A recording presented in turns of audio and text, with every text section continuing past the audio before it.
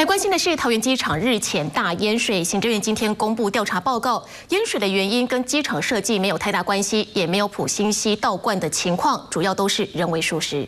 我们也发现了其中的 H 干线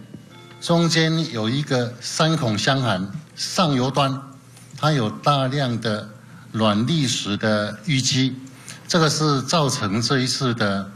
这个排水不良。淹水，然后溢流的主要的原因。第二个，我们发现当时造成大量的雨水排不出去溢流，然后往南北航下的这个地下通道在流的时候，中间有一个防水闸门。事实上，当时的这个桃园机场也没有及时的予以关闭，所以整个雨水就灌入到。航站大厦的 B two 的美食街哈。